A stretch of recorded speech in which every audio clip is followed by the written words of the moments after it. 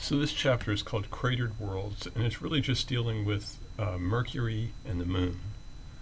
Um, those are the sort of the major cratered worlds that we'll talk about. Um, the, Mercury and the Moon have a lot in common, as you'll see. Um, they certainly look a lot alike. They also have some big differences. A vocabulary for the chapter is just a little bit. Um, there'll probably be a few words that aren't in here, but on this list. But the highlands. So the Moon has lowlands and highlands. The lowlands are called mare, and they're the dark areas you see when you look at the moon from Earth. And the highlands are the light colored areas. The highlands are typically higher, like a mile higher or something like that, and uh, and sort of more mountainy. And the the mare mare is like the Latin word for sea. Mare is the plural. Um, and so uh, they're, they're, they're lowlands. They're, they're, they're sort of volcanic plains, you might say. A scarp is sort of a long ridge that occurs when uh, a planet is cooling and contracting and the crust kind of wrinkles a little bit. I'll identify a few scarps for you. So let's talk about just some general uh, facts about the moon and Mercury that's in these tables. Um, you see the moon on the left in the top table and Mercury on the right. And uh, first of all, you know, this the, the first line says their mass, right? And uh, if the Earth is is one, then the Moon's mass is 0.0123, which means about one and a quarter percent of the mass of the Earth. So the Moon is really a tiny mass-wise object compared to the Earth, even though it's a quarter of the Earth's diameter.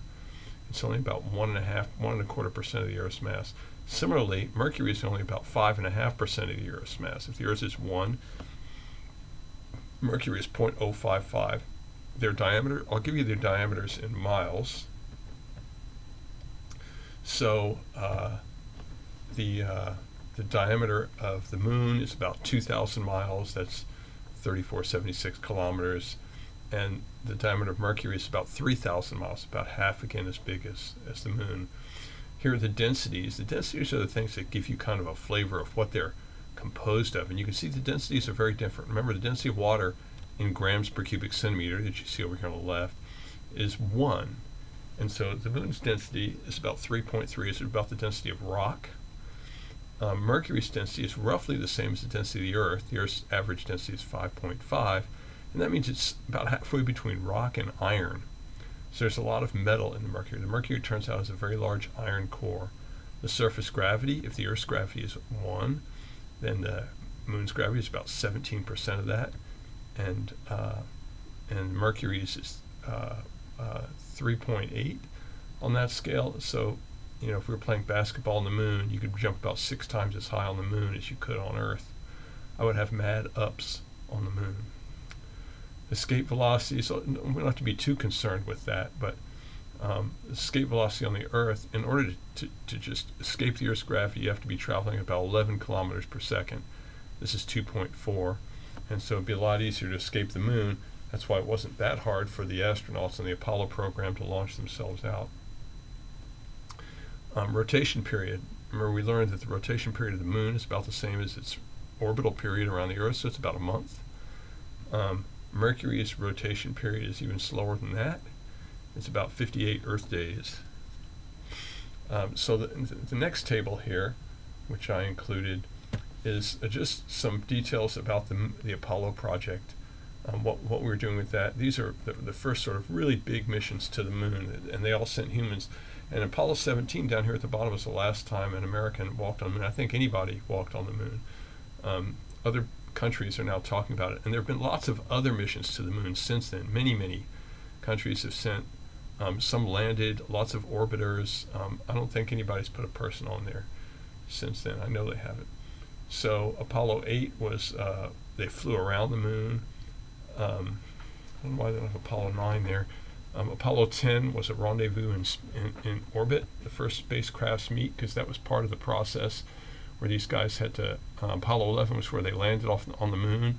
And so the, the lunar lander had to send a, uh, part of itself back up into space to meet the orbiter, and they had to recombine. So that was practiced in Apollo 10. So, so Apollo 11 in July of uh, 1969 was the first moon landing, And all these other guys landed on the moon except Apollo 13. You might have watched that movie, and if you didn't, you should. But you can see they were doing lots of little things here. In Apollo 11, they put a uh, they, they, so they're always bringing back different kinds of rocks. A big part of this was collecting materials for um, uh, to study on Earth, so we could learn about moon rocks. Uh, and so um, later on, they were carrying, you know, a kilogram is 2.2 pounds, so 95 kilograms is 210 pounds of rocks, and then 111 kilograms by 240 pounds of rocks. Uh, so they were trying very hard to get a good sampling of rocks from all kinds of different areas. You see, they were landing in different places. Um, they were landing in highlands and lowlands, and uh, to try to get as, as wide a sample of uh, of the moon as, as they possibly could. Like I said, there have been many, many more moon uh, uh, missions since then. Um, so general properties of the moon. Um, so described is what, what was learned uh, from space, lunar exploration. We brought back many rocks. We learned all kinds of things from these rocks. But one of the things we learned was how old we could radiometrically date the rocks, and that would tell us how old the different regions of the moon were. And then we could look at the cratering rates on those different regions and correlate cratering rates to ages. And then that allowed us to look at the ages of surfaces, other surfaces that had craters, you know, with the same density. And then we could figure out just by looking at craters how old things were in the solar system. And so it was, it was very important for that. Um, many experiments. They did seismology experiments. Some went on for years afterwards. We put reflectors on the moon that allows us to allows us to bounce laser beams off the moon, which we still do daily. Um, we photographed the lunar surfaces from orbiters. The total program, Apollo program, cost $100 per American, spread out over 10 years. So $10 a year for 10 years for every American. So it's pricey, but we did a lot of really cool stuff there. Um, so we're going to talk a little bit about the composition and structure of the moon.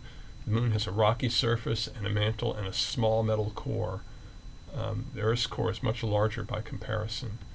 Um, the moon has ice in its polar craters, which are permanently in shadow. Um, this is discovered by smashing a small spacecraft into a crater, and look at what came up. They intentionally smashed a crater in to see if they could get some uh, rock to come out, and when it did, ice underneath it came out, so they were able to see what it was. Um, there's enough water in the craters to fill a lake 100 miles across, and so in the future, if we decide we want to have missions to the moon where we land on it, we could choose to use that water instead of bringing water. Um, so the, the lunar surface, let's talk a little bit about the lunar surface. So this is Buzz Aldrin. He was the second man to land on the moon, and he's looking at uh, the, the, flag they just planted. Uh, so this is a nice picture of, you know, this is the on the left is the face of the moon that we always see. Remember when we talked about the moon, we said the moon always keeps one face towards the Earth. Well, this is the back side of the moon, the side that faces away from the Earth, and you can see it's very different. There's lots of mare on the, on the left half, but not so many, just one little one on the right. By the way, if you look at these mare, you can see that they're pretty circular. These are actually due to impact craters at the end of the cratering era, so they were big impacts. And uh, they cracked sort of the lunar surface, and, and lunar lava poured out, and that's why it's dark there. And so when you look at mare, which we'll see, I think, a little later, um, they're pretty smooth. They're not heavily cratered like the like the highlands. Look at the bottom of the left picture, and you can see all these craters down here. Or just look at the right picture and look at all the craters on the highlands versus what's in the mare. Um, these these impacts you can tell happened very late. They erased all the craters, and then there weren't very many after that. And so you can tell how old a surface is by the density of the craters and how they overlap and stuff like that. So that's a nice picture for that. Um, these are just pictures taken uh, um, on the moon. Uh, this is a scientist analyzing a moon rock they used gloves and did a lot of things where they weren't touching, contaminating. You don't want to get your own minerals on these rocks that you're trying to understand. Um, here's a Saturn V rocket that's in the Johnson Space Center in Houston. It used to be outside. They moved it inside, I think it says. Um, we went there, but a very long time ago. Uh, this is a this is a a mountain inside a, a crater, inside the Tycho crater, which maybe we'll get to here in a second. So if you look at this crater in the, in the upper right, in, in the center here, um, you can see some mountains in the center of it. So when you have an impact, there's a recoil, and so lots of craters that haven't somehow been eroded later have have uh, central peaks, central bumps that are a telltale sign that they're a crater and not say the, a dead volcano or something like that. Here's another nice picture of a crater. This is uh, this is Copernicus. Look how this is in a mare. Look how smooth the mare is, other than where the, the crater is. Lots of smooth, open areas. Right. This the, the event that caused this mare that, that you see all around here, not the little crater in the middle, but the mare, happened very late. There weren't very many bombardments after that. By the way, this crater at the top, at the very top here, is called Tycho, oh, Copernicus, sorry, Copernicus. And you can see that there's some light lines that sort of radiate outward from it. Um, if you look at Tycho from a different angle, you can see it was a massive explosion, and uh, and uh, stuff blew outward and made marks, um, indicating that. All right, let me switch back.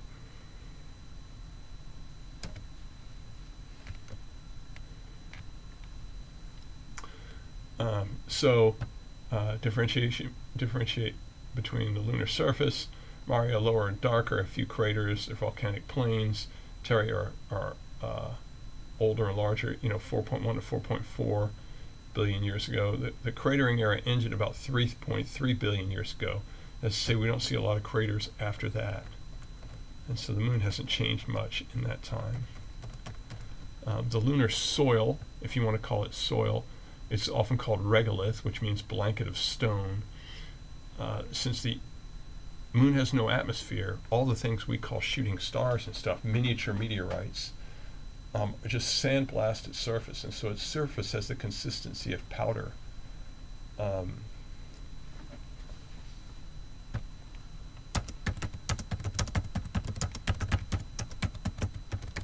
it's very soft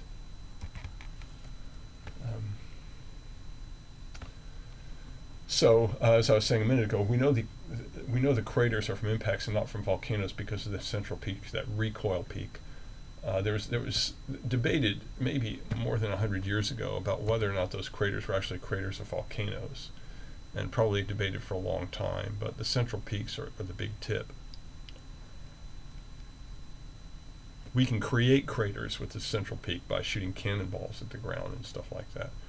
Um, the moon is a, a, a, nighttime temperature of minus 98 degrees Fahrenheit, approximately. It varies, and 224 degrees above boiling in the daytime.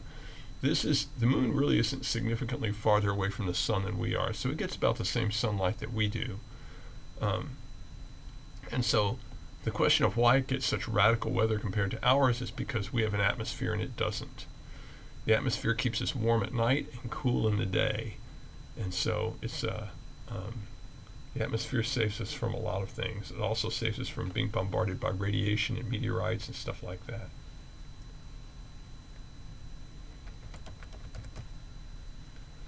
Um, so this is the youngest lunar impact basin uh, called Oriental. It formed about 3.8 billion years ago.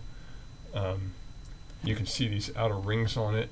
It looks like a bullseye, right? It's got layers of rings and stuff, and the and the inner one is uh, got, got a lava flow in it. So this is a massive impact. Um, the outer ring's diameter is about 600 miles or something like that, thousand kilometers it said. Um, so it was not completely filled by the lava flows, just at the very center. Here's a picture of a footprint which will be there probably for a very long time. So this is uh, this is on the left is a volcano, and on the right is an impact crater and they look different. And you can sort of see the central peak on the impact crater. Um, impacts craters are much bigger than the rocks they made them that make them, and so um, you can see a small rock coming in here. Creates this impact. There should be a recoil peak here in the center, but this, the hole that gets made is a lot bigger than the uh, than the impactor that made it. There's some central peaks on this guy.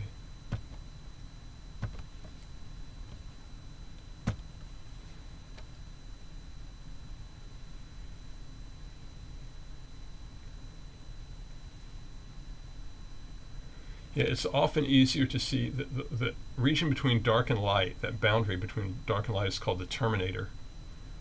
Um, has nothing to do with Arnold Schwarzenegger. And the terminator, um, because the light is kind of going tangent to the surface, if you look on the terminator, you often get to see a lot, a really good view of craters. It's harder to see them on a full moon. And so when we look through the moon at a telescope, we're often looking right along the terminator to see what kind of craters we can see, because that's where the interesting stuff is. Um, here's a picture of the moon from the Deep Space Climate Observatory. Uh, it's it's uh, about a million miles in the direction of the sun from the Earth, and so you get a nice picture of the relative size of the moon and the Earth. And from that picture, here's the uh, meteor crater that we talked about last time. A nice example of a crater. This is a picture of, uh, this is a graph here of, uh, of the cratering era. And so let me see if I can explain this. So, so the horizontal axis is time before present in billions of years. So if zero is present, then one is a billion years ago, two is two billion years ago, three is three billion years ago, four is four billion years ago, and the Earth is about four and a half billion years old. And what we see when we look at craters is there's lots of lots of these craters fall in this age group, over four billion years old, and it starts to end somewhere back here as the solar system was forming, and roughly around 3.3 it gets there's almost no craters for the last three billion years. We still get them, but very very few. And so. Um, so this is just part of the formation of the solar system, all these craters that happen to the moon. The Earth got just as many, um, more because it's bigger, um, but uh, we erased our craters.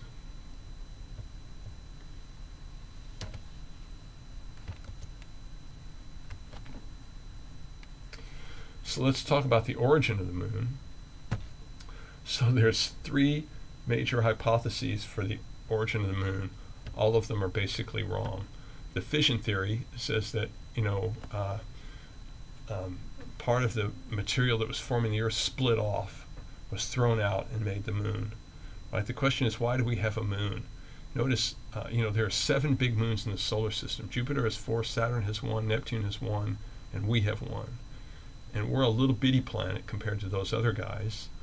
And so, how did we get a big moon?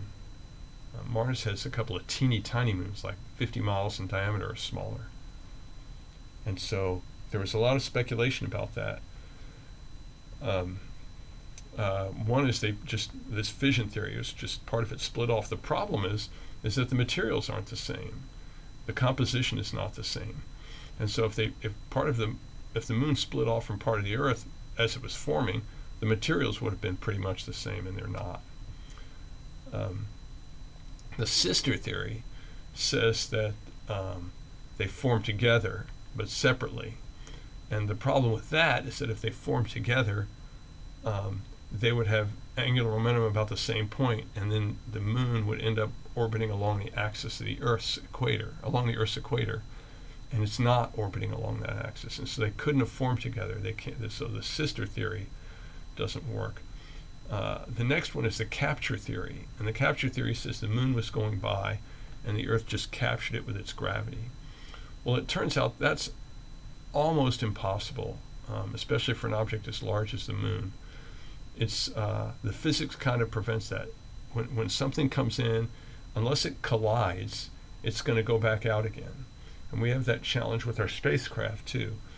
And so um, those were the main theories, uh, maybe more than 100 years ago, or up to 100 years ago, and they all sort of failed. They had big holes in them. And so about 40 years ago or 50 years ago, um, the uh, someone came up with the giant impact hypothesis. I was in college when this came out. It was in the late 1970s or early 80s, and the argument was that um, uh, during the formation of the Earth, it was hit by a Mars. The Earth was hit by a Mars-sized object. So this is in the cratering era, or right at the end of it. Um, and this object had formed somewhere else in the solar system, but got kicked out maybe by Jupiter's gravity or somebody's gravity and got thrown around and uh, end up, ended up colliding with the Earth. Likely it formed in the asteroid belt somewhere. Um, the collision produced uh, ended up, so it, it, smashed into the Earth and then most of it made the moon, and then the rest of it and what was left of the Earth reformed into the Earth. And so the result was it gave the Earth plate tectonics because it broke up the Earth's surface. And it explains why the moon doesn't orbit the Earth's equator. So the current accepted theory for how the moon got to be where it is is called the giant impact hypothesis. And it's when a Mars sized object collided with the Earth early in the formation of the solar system. All right, let's talk a little bit about Mercury. So, Mercury looks like the moon on its surface. It's got lots of craters and stuff like that. Um, it's got a daytime temperature of roughly uh, uh, 600 degrees, 600 to 800 degrees Fahrenheit. It depends on where you look, and uh, minus 270 degrees at night. It has the second most eccentric, eccentric, that is to say, the least circular orbit next to Pluto. So, of the eight planets, it's got the most eccentric orbit. Its diameter is about 3,000 miles, so it's about the size of the U.S. It's about 120th the mass of the Earth, and it's got roughly the same density as the Earth does.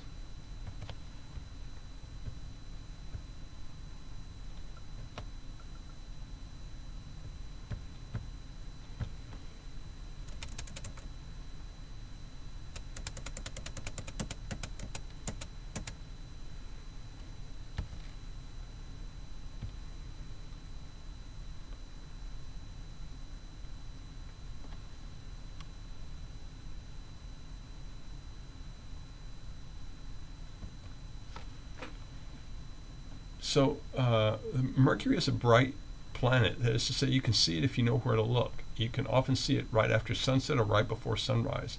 It's close to the sun, so it's well lit. it receives about seven times the intensity of light the Earth does. Um, it's also close to Earth, and so that combination makes it pretty easily seen by us. Why isn't it seen so often? Because it's so close to the sun that it's never up long after sunset and it's never up long before sunrise. It's always right near the horizon when the sun is near the horizon, and so it can be very hard to see. Mercury is too small to have enough gravity to hold on to its atmosphere, and so it has no atmosphere. It's very hot. You can be small and have an atmosphere if you're very cold, so that your molecules in your atmosphere are moving really slow. But Mercury is really hot, and it's small, and so it can't keep its atmosphere. Um, Mercury orbits the Earth in 88 days and have has roughly a 58 day, I think I said 55. Anyway, in the 50s, it rotates on its axis. And so its day is about 55 Earth days. So Mercury has a large iron core. Its iron core is around 60% of its size. That's very large, uh, even compared to the Earth, which has a large iron core. Um, it has global scarps. Let me let me pull up a couple of pictures here for a second. So there's a picture of uh, of Mercury's core. Um, you can go back and look at what the Earth's core looked like, but it was significantly smaller than that. Um, uh, uh the Earth's core is about half its radius, and uh, uh, Mercury's is considerably bigger than that me see if I have, do I have any pictures of, uh, yeah, here we go. So you can see a scarp here. So here are craters. This scarp here, this kind of thing occurs when the planet is cooling off and shrinking a little bit, and it kind of wrinkles, and you can see that wrinkle. The wrinkle happened right through the crater, so you can tell that the wrinkle happened after the crater hit, right? Because if the crater hit after the wrinkle, then it would have wiped out that wrinkle. And so you can tell a lot about which craters happened first. Look at this little region here, right? You've got a bigger crater and a smaller crater, and clearly the smaller crater happened second because it wiped out the edge of the bigger crater right down here. Um, so you can tell a lot about what happened when just by looking at uh, how things overlap. But this is a scarp. That's a scarp. Let me just go up here for a second. Um, we used radar to measure the rotational rate of the of Mercury. Mercury is low in the sky for us all the time for the reasons I said a little bit ago. As a result of that, it's uh, it's hard for us to get a good look at its surface with Earth-based telescopes, and so we figured out how it was rotating by bouncing radar off it. And uh, if if uh, if it's stationary, the the frequency of the radar will come back the same as it went out. It'll just bounce off and come back. But if it's spinning, then the part that's coming towards you will bounce radar that's blue shifted, and the part that's going away will bounce radar that's red shifted, and your your your your uh, your um, your pulse coming back will look like this. So you send a pulse out like like the top one, and then uh, and it'll come back like this if there's no rotation. It'll come back the same way, right? But if it's rotating, um, the, the pulse will be spread out more in terms of frequency because there'll be red shift on one on one side it's rotating and blue shift on the other side and so it'll make some of the frequencies faster and some of the frequencies slower or smaller some of the frequencies larger and some of the frequencies smaller and so you get a spread out uh, uh, pulse in terms of frequency and uh, you can use this to determine the rotation rate and so that's what was done with mercury we bounced radar off it looked at the returning pulse and used the Doppler shift to figure out how fast it was turning.